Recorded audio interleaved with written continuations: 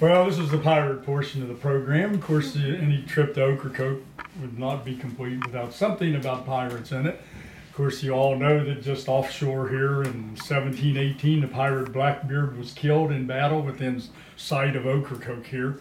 So, with that uh, knowledge of that history there, this lady over here wrote a play in 1974 called A Tale of Blackbeard. This is the cast shirt from the 1994 production. It's a, it's a very old shirt. My wife says I never throw anything away, and this proves it. But this actually has the 91 cast names on the back, too. Or 94 cast, I mean.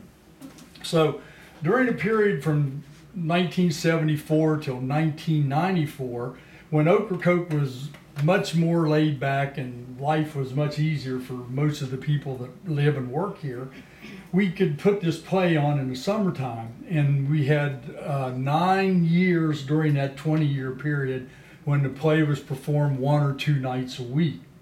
Um, local people came in, took a cast of maybe 30 or so to put it on with the stage people and all. And uh, quite a pretty big production, three acts. It had many pirates, it had dancing girls, it had historical things, it had drama, romance, lots of things in it. Uh, in 1991 and 1994, I was fortunate enough to get to play the part of Blackbeard. Uh, at that time, my beard was much darker.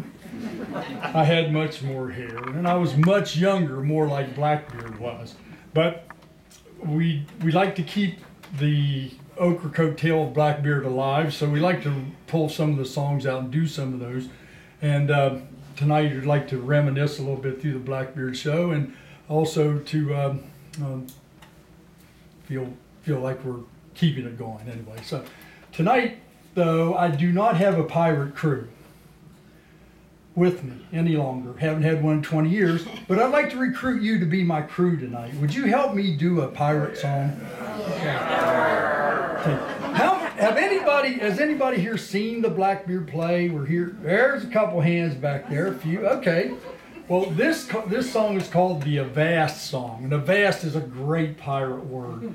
And um, uh, this is in the early part of the play, and uh, the pirates are ready to come ashore to Ocracoke to meet the village girls, go to Euphemia's boarding house, and uh, have a carousing, rousing time. But they've been at sea for a long time, so they're ready to get off the ship. So they sing this song to get ready for it, to tell them how happy they are to be pirates.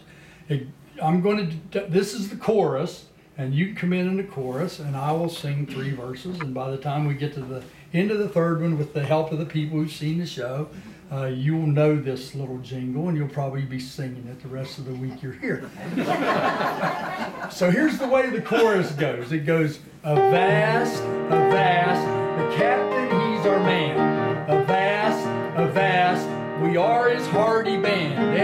him we'll raise our tankards high, take another swig. But if we could get our hands on him, we'd throw him in the brig.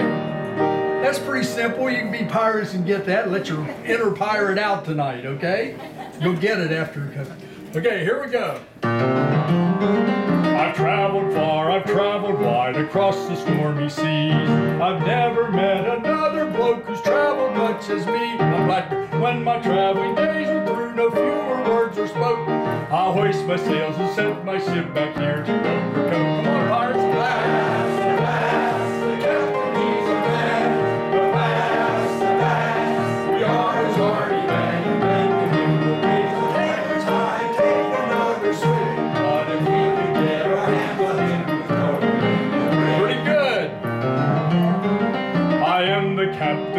And all that I survey. If anyone should cross me for his crime, he'll surely pay. When I retire, my meanness and bad deeds I'll quick revoke, and I'll hoist my sails and set my ship back here to Ocracoke. Come on, pirates! Great.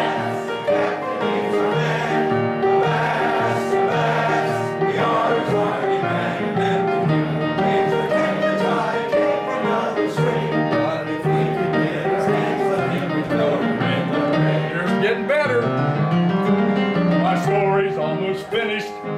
like to hear me sing. So I loose my mighty baritone and make the yardarms ring. I'll be be singing thus ten years from now, unless my neck gets broke. When I'll hoist me sails and set my ship back here to work.